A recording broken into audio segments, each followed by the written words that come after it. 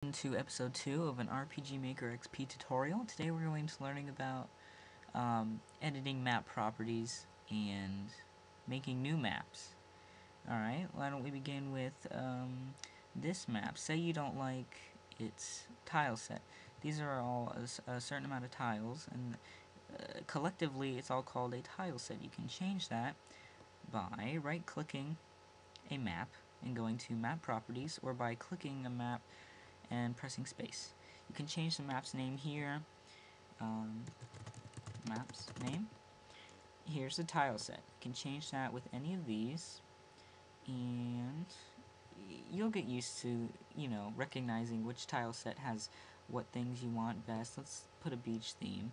You can change the width and the height of the map.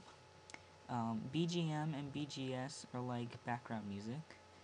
Um, BGM is the main music. Say.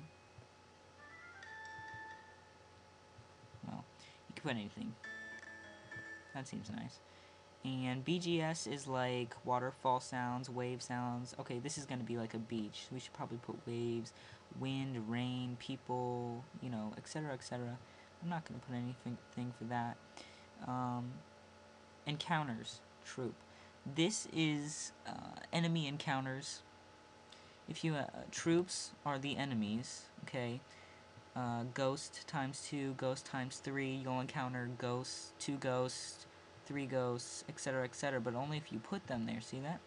And steps average is the amount, the average amount of steps before you encounter one. But I don't want any encounters in this map, so I'm just going to delete that, press OK. Oh, and it completely changes. So you might want to get rid of that. And change all of this with your layers, which you learned last time. And you have a blank map that you can work with. It's probably going to be a beach themed with all of this. And um, to conclude, I'm also going to teach you how to make a map. You can right click under the RP your your game's folder or under, you can make a submap under a map by pressing, right-clicking, pressing new map. You do the same to that, etc., etc. Different tile set. See there? So uh, that concludes this today today's tutorial. Thanks for watching. Hope you learned a lot.